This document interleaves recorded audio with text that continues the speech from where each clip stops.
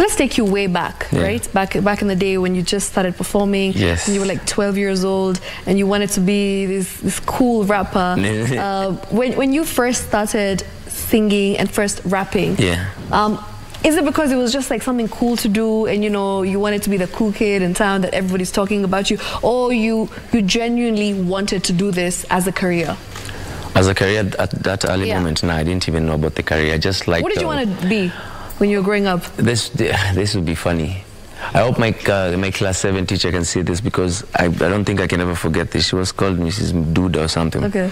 I remember we were being asked, or it, like uh, everyone in the class, just say what you want to be. Mm-hmm, I don't know. I had like a wild imagination at that time. I don't know. um, I said I wanted to be an astronaut. I can never forget that she told me, "Can you tell me something else because that one is just too far fetched." Yeah, I mean, some some things you might say them and then they just pass. Some Yeah. things stick with someone. That one stuck with me. Like, you know, I mean, I can. I actually think I can do it.